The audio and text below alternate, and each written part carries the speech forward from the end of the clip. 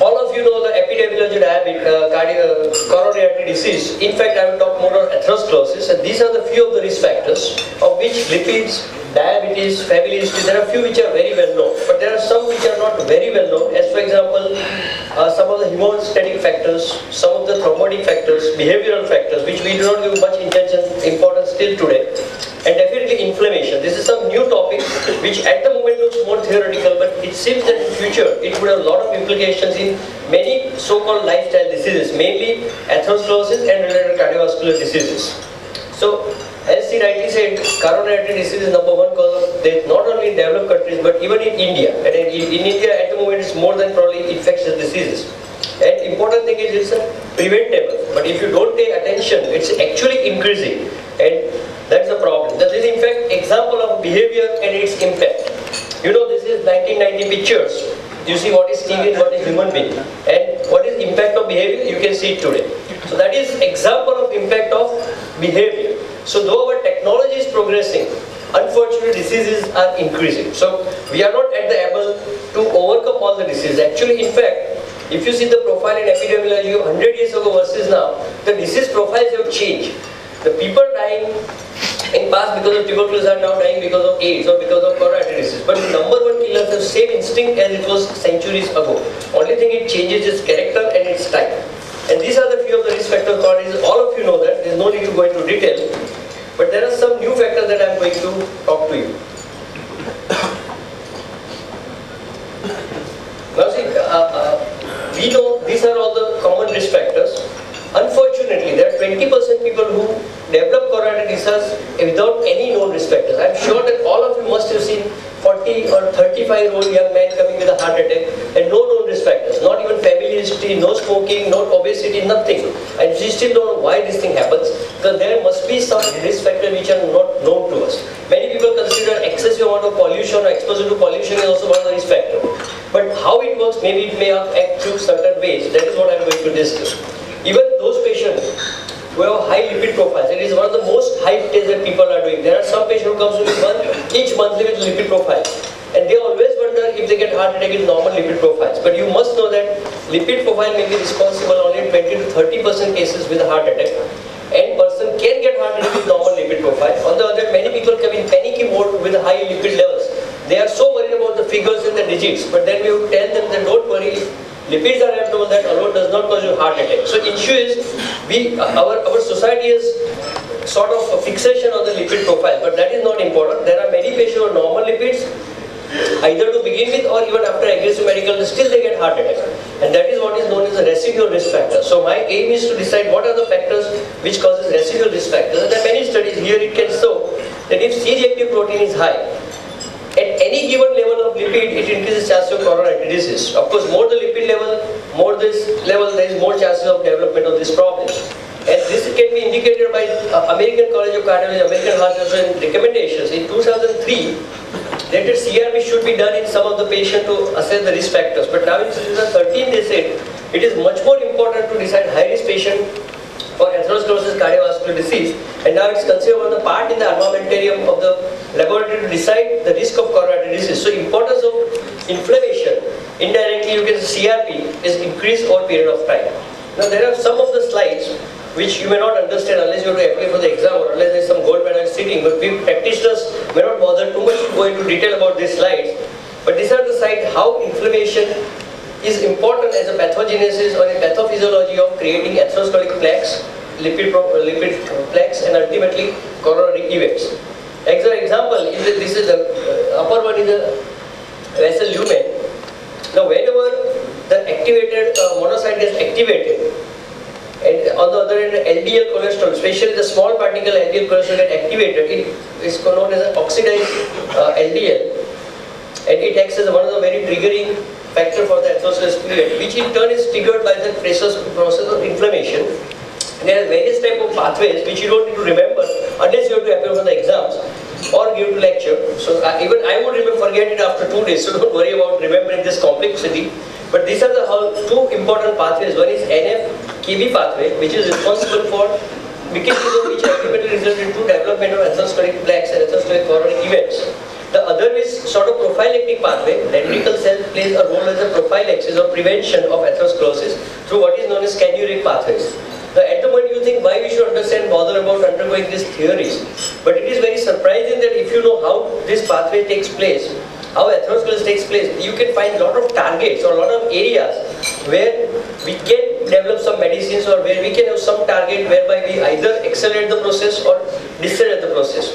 So suppose if you can find something which can suppress NF-kB pathway, you may suppress the process of atherosclerosis or even prevent it. On the other hand, if you can find something which stimulates the canuric pathway, it is possible that we can again reduce atherosclerosis process because this canuric pathway is a more helpful pathway. So as for example, if NF-kB pathway is uh, activated, it results into inflammatory mediator development like TNF factors or interleukin, etc., etc., which in general produce adhesive molecules and few other molecules which can result into initiation of plaque formations or acute coronary events. I'm not going into very much detail, but just, just superficial examples. As well, if canuric pathway is activated with the help of again trigger, it can result into formation 3-HHA, which is sort of helpful or it's a defense mechanism against inflammatory markers. So these are the two pathways on two different sites. I'll not go into very much detail about this. As for example, this is NF-kB pathway. Whenever there is any type of inflammatory stimulation, which could be many things, like high level of cholesterol itself is considered as inflammatory stimuli. Many of the pathogens can be considered like inflammation. There are certain organisms where to be inflammatory. Even pollution, certain level of certain gas or acids in the body also can act as an inflammation. So this all can activate this NF-kB pathway.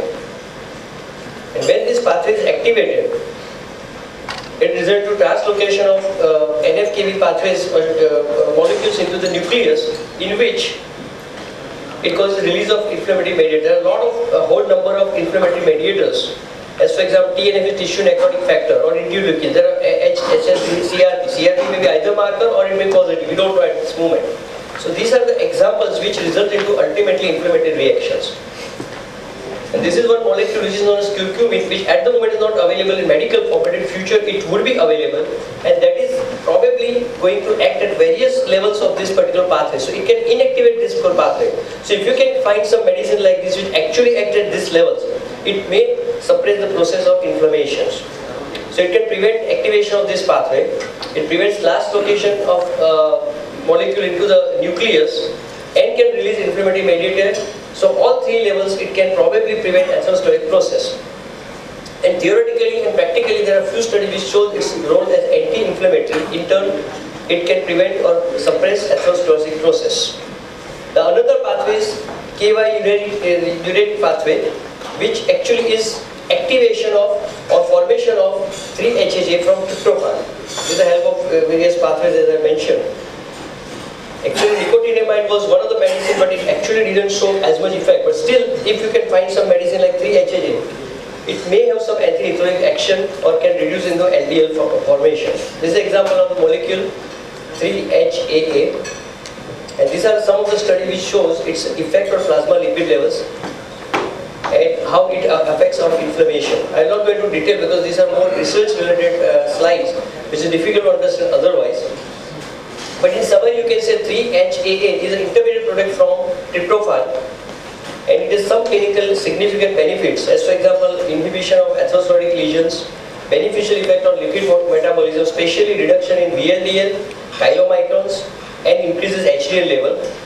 Actually these are many benefits of pleiotropic actions or pleiotropic effects and ultimately it can reduce vascular inflammation, atherosclerosis and related sequences. There are many other molecules like this which are at the moment targets for research. As for example, these are the long list, how it acts, which are the pathways, which are the possible ways and how it works. This is uh, really going to be innovation in next few years. And we may not pay attention at this level. Maybe after 10 years you realize, oh, this was something which, is, which has played a big role. So at the despite optimum therapy with current drugs that we have, which is mainly aspirin, other anti uh, platelet agents, statins, and other agents to reduce the LDL, Still one third of the patient or the one third of the low risk patient develop coronary artery disease and we don't know why they develop it. So tackling inflammation may provide potential answer to improve the coronary artery disease and cardiovascular outcome. That is what our hope is. And ultimately control of inflammation may reduce coronary disease in future. Now see, you are all 80% are, how many of you are in research, active research? I think majority of you are clinicians at this moment. So I'm sure that we are all clinicians and we get really bored because we won't understand. Don't worry, even I didn't understand too much about this lecture, but I had to read it two times so I understand a little bit. Now what, what is, how this can actually affect our practice or the way we can think? Do you think it can any importance? Can you recognize these kids? Just just give me example of who are these kids? Very good. Eh? And Lata Mangeshkar, Very good. and Aamir Khan. Lata Mangeshkar ki Yes, yes, very good. I think that was very good. And the first one that you should be able to do. Mahatma Gandhi. Mahatma Gandhi. Mahatma Gandhi. That that the girl. Madhuri Dixit.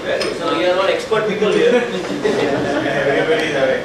Good, good. Now, see, what I have to say is, when they are kids, you don't understand what is that potential. Same is true as far as basic research is concerned. You feel, oh, this is something, you don't, you don't pay attention to it. But you don't know what is the implication after 10 years, 20 years. So, th this would change the life in significant way. These are the kids who are very well known personalities now. But when the kids, no one knows what is their potential.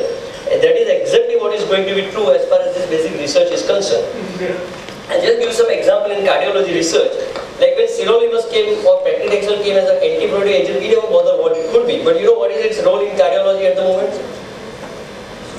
They are used to drug-coated stents. So all the drug-coated stents, they work more because of this uh, anti-proliferative or uh, static drugs which prevents new neointimal hyperplasia. So this is an example of implication of some basic research and people realize what is the way, the way in which it acts and how it can be implemented into something entirely different. Same is the role of ACE inhibitors, beta blockers, antiplatelet agents, uh, medicines which prevent thrombosis or antithrombotic agents, etc. etc. So this is the, we are seeing the fruitful results of the basic research which was done many many years or even decades ago. As for example, you see this pathway. If someone will show, show you this pathway 30 years ago, you will not pay attention to it.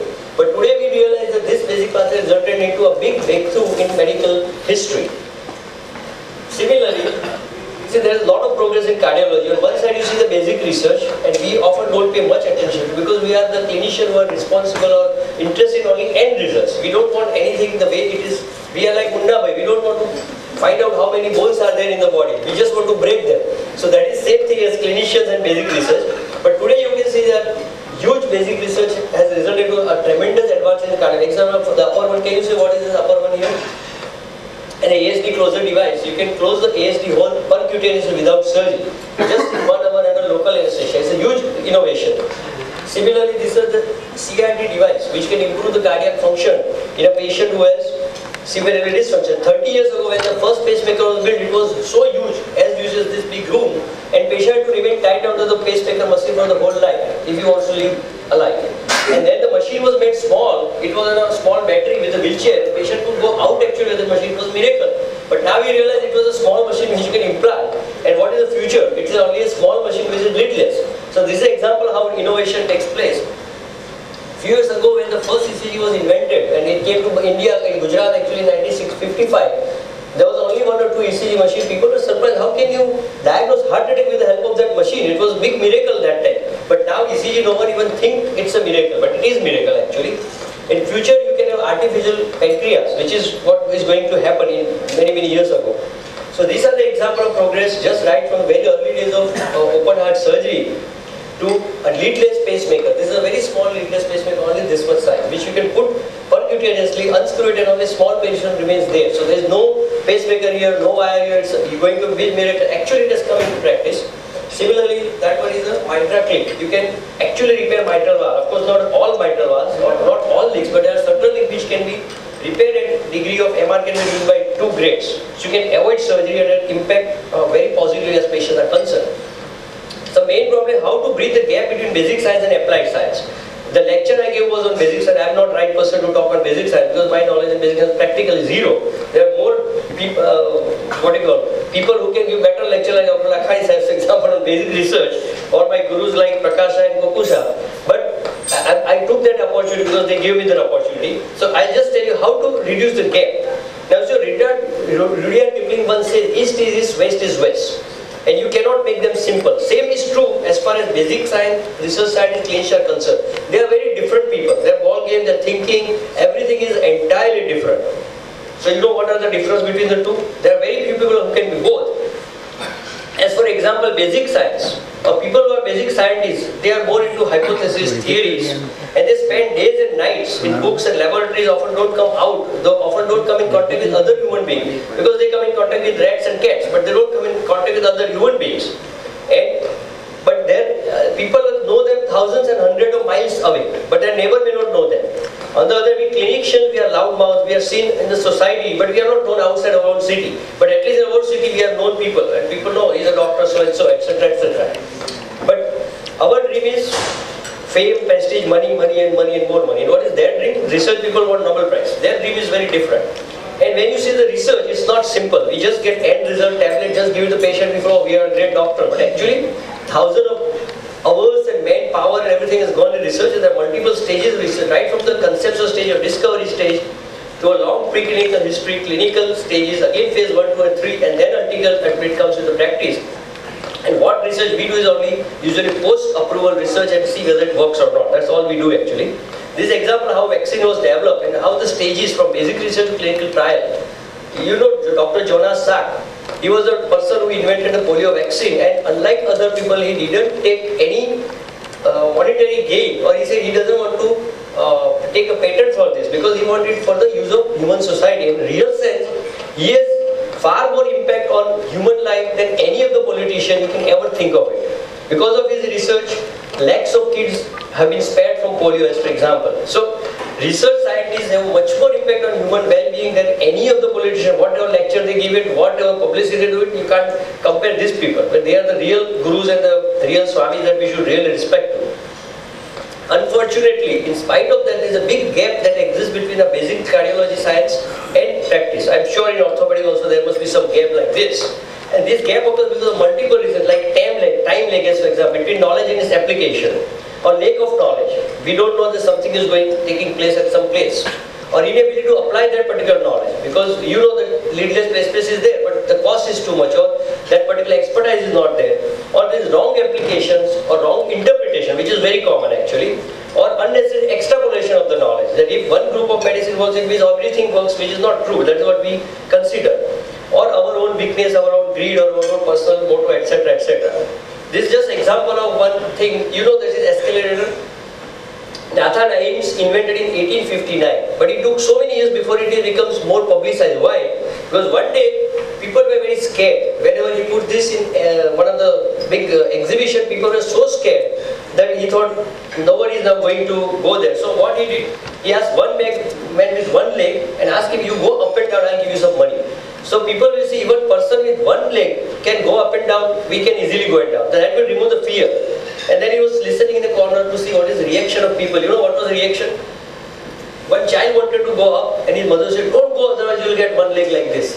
So that delayed it for so many years. Similarly, there are many other good inventions. For example, penicillin. Penicillin was a wonderful drug, but it has one or two side effects. And for that reason, it was not into the market for almost 10 to 15 years and by that time many people have died actually because of wound infection. And then when penicillin came, it actually reduced mortality quite significantly. Same is true for the uh, anti-rabies or whichever uh, anti-tetanus vaccine. You know, in First World War, how many people died? One crore people died, and of this, about two to three lakhs people died because of tetanus, because of wound injury related tetanus. In Second World War, by that time, anti-tetanus vaccine was introduced, and only 11 people died because of tetanus. You can see the impact. 2 lakhs versus only 11. Unfortunately, total number of people dying was 5 crore because weaponry also has progressed significantly. So that was a sad part as for example. So same is true as far as cardiology is concerned. That in 1912, James Herrick invented that, or rather discovered that atherosclerosis is the cause of heart attack. But it took us almost 50 to 70 years to develop medicines to act against atherosclerosis. Still we have not overcome this particular. Knowledge was in 1912, but this victory was probably almost 70, 80 years afterwards. So how do you reduce this particular gap? There are various ways. As for example, we need dedicated doctors to take care of patients. But we have to have some people who are dedicated researchers and should not worry about emergency, critical ill patient, death, medical and other issues. And then only we can have a reduction in gap. And both clinicians should have some basic knowledge and they should have some clinical knowledge and there should be some common meeting or something like that. But I, I don't see any person from basic research here, but that should be there. And scientists must be encouraged to interact more with the clinicians and should visit hospitals, talk to the patient. They should not remain confined to the laboratories. Same way we, we should go and read books, but it's difficult for us to do that things. And best way is a clinician research should join hands. Keep patient outcome in their mind, not income, but patient outcome in mind. And we must remember Hippocratic oath, not the hypocritical behavior, but Hippocratic oath. That will reduce the gap significantly. And I actually salute pharma industry because they play a very big role in bringing the research scientists and clinicians together and that can probably reduce this gap. And we can see what these pharma companies have done actually. And we actually clinicians must salute all the basic scientists because out of thousands of molecules, only one molecule come to the practice. And that is what we consider responsible for patient's actual recovery. But it is the research scientists who have paid thousands of hours and works and uh, really they have dedicated their life. So many people dedicate life and you find one particular one. Like Zinetac has actually eradicated the need for the surgery for the gastric ulcers as for example. This is all because of basic research. And we doctors always feel we are God, but it is not true. We try to act like we are God, but remember that is research that has made us demigod actually. And we always feel that there is great progress, big and big hospital coming in place, and you consider that is a progress. Is it progress? Actually, more and more hospital coming is a more and more regress. It is not a progress. More hospital coming means medical industry is becoming more a medical profession becoming more industries and that means our health is going down. So we should aim more at prevention rather than costly surgery or angioplasties and other things. Actual real progress is not big hospitals, real progress is healthy society. And that is what we want. Happiness index should be high, not the wealth index. Happiness index should be high. Then all we can say there is a real society. And this is unfortunate sad event that in India, in spite of more and more hospitals coming up, more and more angioplasty, more and more bypass surgery, actual mortality of coronary disease is increasing. That indicates we are not actually progressing. Though if you say only statistics, finance, it's a progress, but real it is not. And once Arnold Toynbee said that humans survival better in jungles when human being was helpless without any weapons against wild animal then now when he has lethal weapons. Why? Because we kill each other far more effectively than it was before. You can see what happened in Paris or Middle East or whatever it is. And same way I would say that heart patient survival was probably better without aggressive cardiology with weapons like balloons and stents. Actually many people die because of that procedure but we always feel we have done a great job. And insist that all of you should go for basic research once in a while. You don't know whether you are the next one aiming for the Nobel Prize or the billionaire. We don't know. Sometimes research can take you to entirely different league. So always pay attention to research. At least think innovation. Talk to the pharma or the people who can make your idea practical.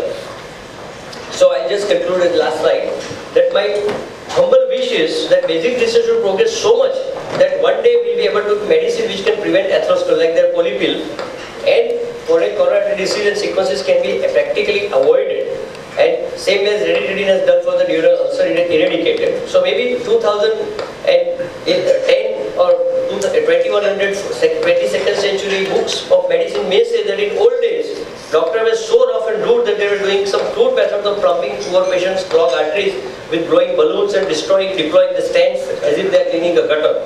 Let this be a past then it's real history and real progress actually.